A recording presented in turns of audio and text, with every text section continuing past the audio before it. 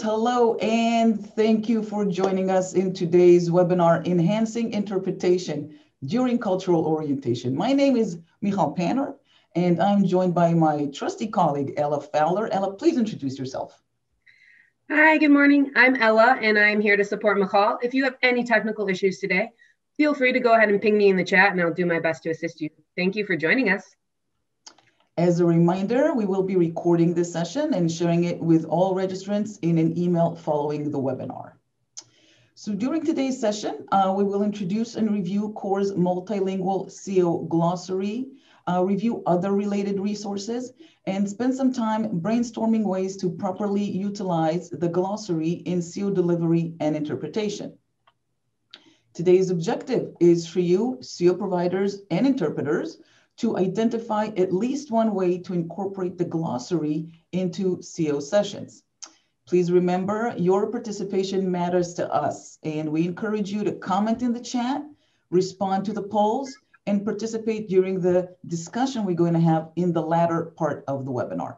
Uh, to open the chat, you will uh, click on your menu. It can be at the top or bottom of your screen. Uh, it can either be visible to you as chat or you'll have to click the more button with the three dots above it and click chat and the chat window will open and you'll be able to, to communicate with us. Before we start, uh, I'd like to do a, a quick check and uh, see whether you've had a chance to use the multilingual CO glossary, yes or no. Ella is going to launch a poll. The poll is now launched and should be on your screen.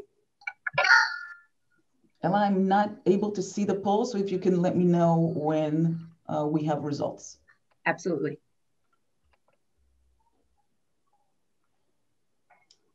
You have 15 more seconds to complete the poll.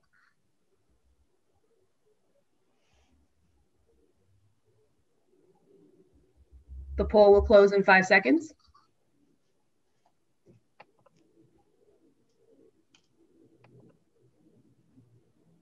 Okay, I have now ended the poll and I am sharing the results. So it looks like about 30 people, 39%, um, have used uh, the CO glossary and about 61% have not used the CO glossary. That is great. And that is why we're here today. So for those of you who said yes and did manage to have time to use the poll and um, the poll, the CO glossary and interact with it, uh, if you answered yes, please take a moment to share your experience in the chat box we would like to uh, to hear how your experience was. Printed mm. material to hand out to clients. We used to share glossary with interpreters. That is that is wonderful and a good um, a good best practice as a handout. Very informative. Great.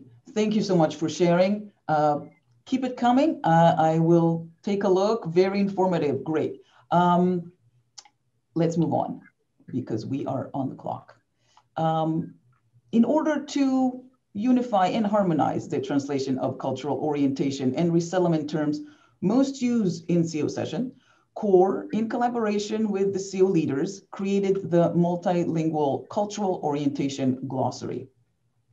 The glossary currently contains 216 terms under 15 categories, reflecting the overseas and domestic objectives and indicators once translated, the glossary was reviewed by CO providers and interpreters um, and interpreters from resettlement support centers, Africa, Asia, MENA, and TuME for accuracy. And some of your colleagues are here on the call today, and thank you again.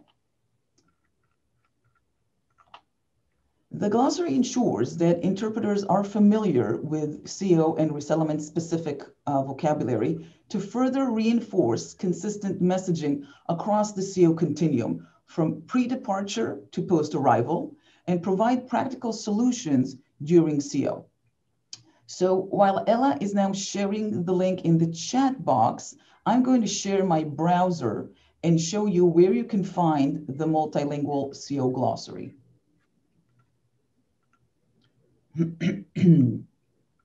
Thank you, Ella. Um, Ella, just let me know, can you see my browser? Yes. Great. Uh, so you will find the multilingual CO glossary on the Working with Interpreters page on the core website, and it's currently the featured resource on this page. uh, this is where you can find the actual glossary. I would like you now to take a couple of minutes to explore this resource. There's a drop-down menu right here, and then post in the chat box which of the glossary's available languages will be most useful to you in your CO sessions. You have a couple of minutes to respond in the chat. Okay, I see some answers already coming in. Arabic, Burmese, Arabic and Dari, Burmese, Kiswahili, Arabic, Arabic, Burmese, I think we're seeing a pattern. Kinyarwanda, Swahili. Uh-huh, yes, and we have a question, which I will, okay. Farsi and Kurdish, Tigrinya. Mm-hmm. Okay, thank you very much. So, yeah, and can you understand Swahili Burmese? Very good. Uh, to recap, uh, the available the glossary is available in six languages: Arabic, Burmese, Dari, Kinyarwanda, Russian, and Congolese Swahili.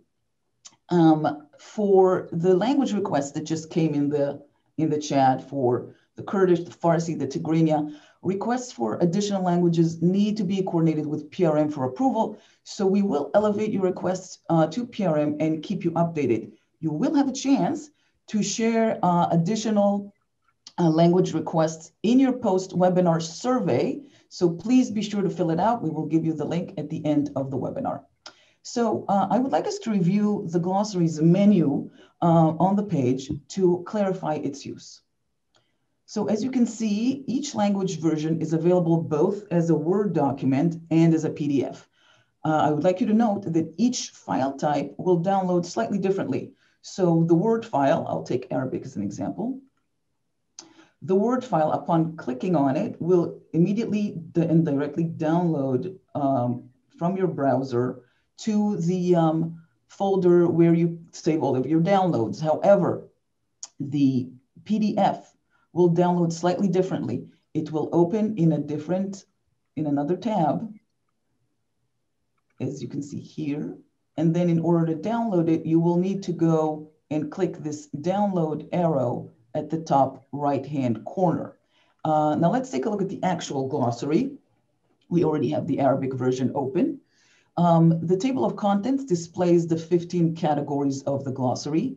Once you select a hyperlinked category, it will uh, take you to that section of the document and you'll be able to review the terms nested under that category, their definition, and the translation in the target language. So if I'm choosing this first one, now in this case, I just like to note, because I did not download the PDF to my computer to save time, the category opened in a different tab up here, but once it's on your computer, it will stay within the document itself. So no worries about that.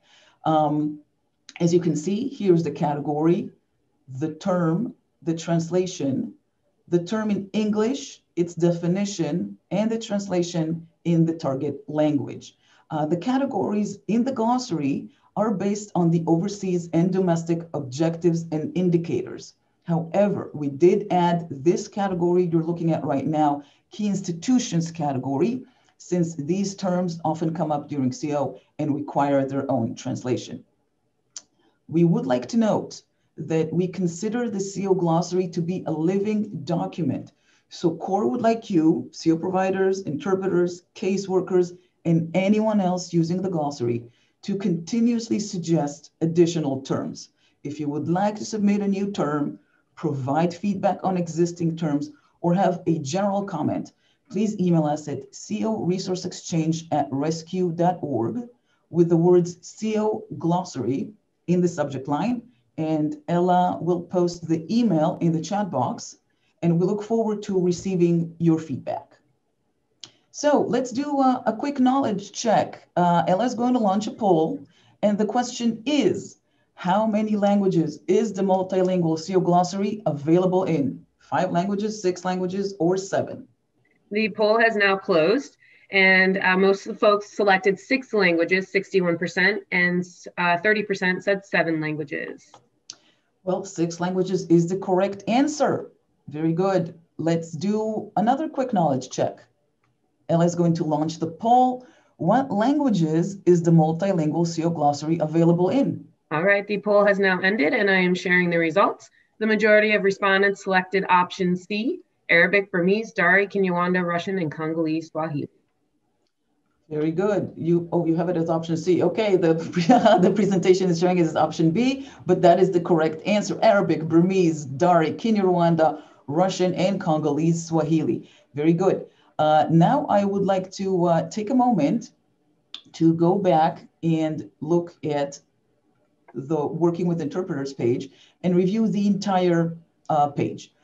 CORE developed this page to assist CO providers and interpreters to collaborate in CO sessions. As you can see, in addition to the multilingual CO glossary, the page has tips for CO providers who work with interpreters, which you can scroll through with this feature right here, as well as tips for interpreters who deliver CO. Again, you have a feature that you can scroll through right here. At the bottom of the page, you will find additional helpful resources. We welcome your suggestions in addition to the resources section. If there are resources that you think should be included in this page or you would like to see them here, please email us again at CO Resource Exchange at rescue.org and we will be happy to include the links. The page also directs you to yet another resource that I would like to review, the Working Effectively with Interpreters course. Uh, this lives on CORE's online learning system. If you go to the top of the page right here and click on online learning courses link, uh, it will take you uh, to CORE's online learning system. And uh, if you are an existing user, you can log in. If not, you will need to register and your registration will be approved within one business day. Now, here is the actual page of working effectively with interpreters course. Uh, this is the page that you will get to once you register and, and have access. Uh, it lives on the online learning system. Uh, as CO providers and interpreters, you work with refugees who have limited English language skills. And as you know, well-trained interpreters, as well as good communication and coordination between provider and interpreter, play an essential role in CO. This course explains the role, roles and responsibilities of the CO provider and the interpreter and assists in identifying the steps you should take to ensure that you are prepared for CO sessions. The course reviews, reviews topics such as pre-session preparation, positioning, interpreter skills, and also offers a few practice scenarios. So let's take a look inside. I'm going to click on the course um, right here. As you can see, this is your uh, navigation bar to the left. Uh, here are the topics I mentioned. Uh, it's easy to use and includes clear texts and visuals. Let's look at the positioning section, for example. You can see it right here. A very clear and intuitive interface. And you can also listen to the text um, in addition to reading it or instead of reading it. Um, we do recommend this course both to, to both CO providers and interpreters, uh, and we consider it foundational to staff that participates in delivering CO, as it will allow you to establish best practices in your CO session. And here's a little fun fact, since its rollout in 2017, this course has ranked as the second highest completed course under course offerings with over 1,100 individual course completions. Uh, I would like to now move on and share the presentation again. And we will do, um, and we will discuss uh, a scenario.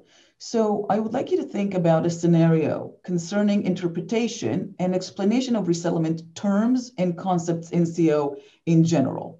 So during a CO session, while discussing the topic of housing, refugees understand that they will live in a house in the US. What may have caused the confusion? You have two minutes to share your thoughts in the chat box, and we will discuss more uh, later. We're getting some answers. The way the interpretation was done, there may not be a suitable translation in the target language. Daphne, yes, thank you. A separate house compared to an apartment. House versus apartment versus accommodation. That is correct. Interpreter translating the term incorrectly or inaccurately. The translation. Give me more, give me more answers. Do we have interpreters among us this morning or this afternoon? Depends on where you are interpreter misunderstood the difference in the terms or clients heard the English and thought they understood. Very good. Anyone else would like to, to comment? Yes. Jerome, appropriate vocabulary may have not been applied. Katie, depending on the way house was used. So uh, this is uh, most likely a linguistic issue. Let's take a look at our, our housing example. So in some languages, Kinyarwanda, for example, uh, house and housing are either interchangeable or housing only has a secondary meaning of residence, uh, but a primary meaning of house. So how can you, as CO providers and interpreters, counteract this potential issue? What are the possible solutions? Uh, I would like you to post in the chat box and note whether you are an interpreter, a CO provider, or both, and respond to these two specific questions appearing now on the screen. Interpreters, how can you avoid this obstacle? And CO providers, what will you do to correct the misunderstanding during the session? Here is your hint. In addition, if you would like to reference resources, but again, for you to uh, post in the chat, interpreters, how can you avoid the obstacle? And CO providers, what will you do to correct the misunderstanding during the CO session? Please note when you respond if you are a CO provider, an interpreter, or both. So provide visuals, knowledge checks of participants. Correct. I'm assuming the response came from a CO provider. Describe what is specifically meant with housing in the context CO provider. CO provider, explain the term housing. That's right. I'm just going to move some of the answers here so we'll have room. Another CO provider. Interpreters, we want to hear from you. Please post in the chat. If you're here with us, we would like to hear your take on this. We would like to hear your take on this um, scenario. CO provider, uh, I would like a cheat sheet of common issues like this for each language we regularly use predictable linguistic issues. So as CO provider, we can speak accordingly and carefully around these issues. That is correct. You will come across many uh, terms that either do not exist in the target language or do not exist in the country uh, the clients came from. And it is very important to know what you might be up against when you, uh, before you start your CO session, so you can tackle these uh, potential issues and um, uh, preempt them. Uh, identify, there it is, identify challenging terms ahead of the session with interpreter and CO provider.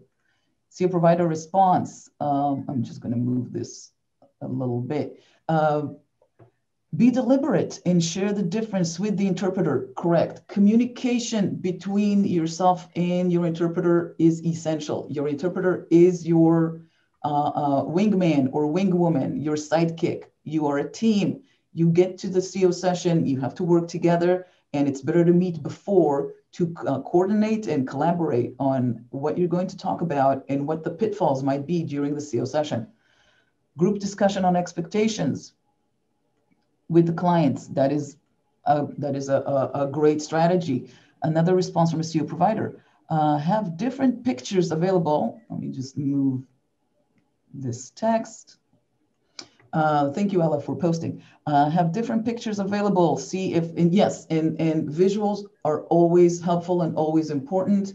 Um, I, for one, can attest that I'm not uh, a native speaker, as I'm sure you can hear. And uh, sometimes visuals just do the trick. You see a picture, you see an image, and you say, oh, I get it.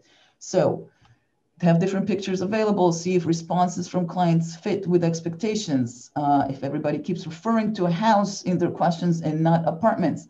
Uh, pre-session, make sure interpreter knows what we will talk about. Very good, correct. Again, a pre-session. is a very, very important tool that you have at your disposal. Before your CO session, meet with your interpreter, talk, exchange ideas, exchange knowledge. We are going to be running out of space. Uh, CO provider have, I think we have this twice. So I'm going to remove this to give you a little more room. Um, more answers. Review the glossary.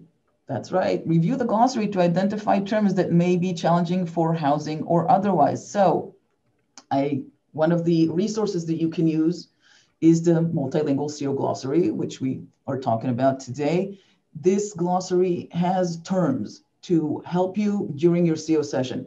Please see it as uh, an inseparable tool of your CO session and continuously use it and share it with your interpreter. Or if you're an interpreter, please refer to it as often as possible. Again, if you find that there are um, terms that are not there that you would like us to add, or definitions or translations that you would like us to tweak, please email us. Like I said, it's a living document. We would like this to be a collaborative effort. Uh, in, oh, we're hearing from an interpreter. Avoid the translation in the standard language and use simple, simpler language, common dialect. Very good idea. And um, that is something that requires uh, knowledge of a, of a native speaker often. So that is why your interpreter is such a valuable tool for you as a CO provider. And what else are we getting here? I'm going to move this a little bit. Train interpreters ahead of time. It is a partnership, correct.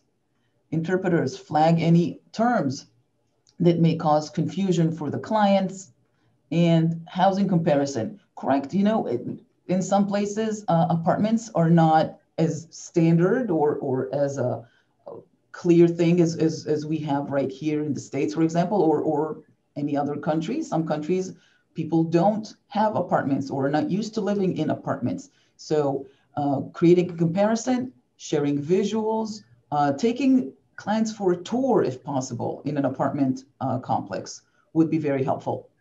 Okay, thank you for these great answers. Um, now, are there, again, a question to you.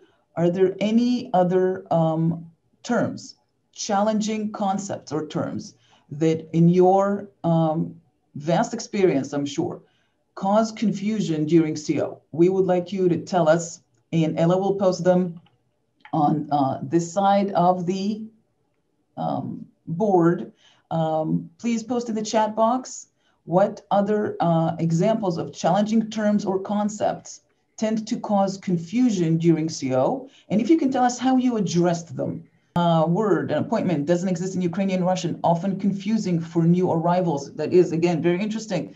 Uh, if you would also like to uh, follow up and share how you address that or how you explain the difference, that would be something that we all would like to hear. Adjusting status, that never makes sense in Arabic or Farsi. Yes, uh, I can attest to being confused with adjusting status myself. And um, it takes time. It takes time. Health insurance, Medicaid, absolutely. Uh, from feedback that we have received from the field, topics such as healthcare, US laws, public assistance with terms such as SNAP, Medicaid, WIC, uh, are generally complicated and can be confusing to clients. Uh, I'm sure you have come across these terms. And I would like to note that these terms exist in the CO glossary. So you can find these terms, they have a clear definition. They are translated into the six languages we're offering the CO glossary in. So again, the CO glossary can really be uh, a, a, companion and a friend for you uh, during CO, both CO providers and interpreters. You have the definition, you can use it and you can interpret that definition to help your clients understand. Um, Let's see what else is coming in. I'm just going to move proactive in Burmese. Wow, that is interesting. Uh, if you would like to share how you were able to explain that, that would be fascinating. Sorry, um, Michal, it was right underneath. Uh, the interpreter and I will discuss the definition of the word prior to class, and I tried I to remember to give the interpreter more time to describe this word during class. Very good. Thank you for thank you for telling me not to move that sentence. Talking about sexual harassment versus sexual abuse. Very hard to explain in English on its own, but even harder in another language. Yes, I understand. I just give a thorough explanation of each. And I'm sure um, whoever, uh, thank you for, for sharing that. I'm sure there's also not an easy uh, or simple topic to discuss uh, and, and can be sometimes triggering to, uh, to clients. So that is, uh, that is a, a good effort. Um, this term also appears, these terms appear in the CO glossary with a definition and a translation. Uh, hopefully you can find that helpful. More answers coming in. Uh, Social Security, are these two related uh, to each other, Ella? Yeah, once again, uh, the first one went in when I wasn't done. So the Social Security card in most languages needs to be deleted. Okay. Social Security card, I try to explain to them saying that it's a combination uh, of a type of national ID card and tax account number. Okay, Social Security card, you will find Social Security in, let me move this around a little bit, in the CO glossary, and uh, it will be helpful to you during your CO session. Another one down here, some languages do not have the word credit. Need to explain the definition from Lori. Very good. Uh, so as you can see, yeah, the, the it, runs the gamut. Um, and there are so many terms and, and uh, concepts that you have to explain during CO. Uh, and it is hard work, it's complicated, it's language, it's culture. Uh, the CO glossary can help you. We have those definitions. And again, if one definition is, or some definitions are not there, or terms are not there, please let us know. Uh, I would like to, in thank you for this great discussion and, and any more that you would like to? No, food stamps versus um, SNAP. Yes. Yes. yeah, there's you. a few. There's a few others that just came into the chat, um, like identity, uh, credit, um, and CORE does have a money management fact sheet that has some basic uh, translation terms and assistance. Um, and welcome money, the AMPM concept, and dates are a few other things that have come in. Very good. Ella, if you can save the slide, I will transfer us to the next one. Are I you able? So. It has been saved. Okay, it's been saved. I'm going to move over to the next slide. Uh, oh, Elena, oh. good good flag regarding the um, regarding okay. the taxes and filing taxes as well. Another complicated issue. Oh my God, taxes. Yeah, tax tax day is coming up, people. April 15th. Uh, be prepared. So, discussion recap. Uh, if you're a CO provider, and many of you have already hit on some of these points in our previous slide, and thank you. If you're a CO provider, before your session, contact the interpreter prior to the session. Provide them with this multilingual CO glossary. Inform the interpreter of the topic of the CO session and ask them to review the specific terms that they will interpret during the session. Check with the interpreter if there are any terms that can cause confusion for the clients in the specific language that they will interpret into and perform knowledge checks with the clients to confirm understanding. You have mentioned many of these points uh, in our previous slide. If you're an interpreter, contact the CO provider prior to the session. Ask the provider what the session topic will be and what specific terms they would like you to use. Refer to the multilingual CO glossary and review the terms. We have the definitions as well to help you be aware of terms that may have the potential to confuse the client in that specific language and make the CO provider aware of such examples so that they are prepared to address this uh, during the session. I would like to thank you for your feedback and discussion today. We hope that you were able to identify at least one way to incorporate the uh, multilingual CO glossary into your CO delivery. If you have any additional feedback, please do not hesitate to reach out to CORE, CO Resource Exchange at rescue.org. Uh, we will share the recording of the webinar with all registrants via email within a week's time. Now, before you go, uh, I would like to ask you to dedicate five more minutes to fill out the post-webinar survey and it will include that language question that, that we mentioned earlier in the webinar. Ella uh, will post the link in the chat box. If you have any additional questions, we will remain online for another 10 minutes or so to answer them. If not, thank you again for joining us and have a great rest of the day. And thank you for the great discussion.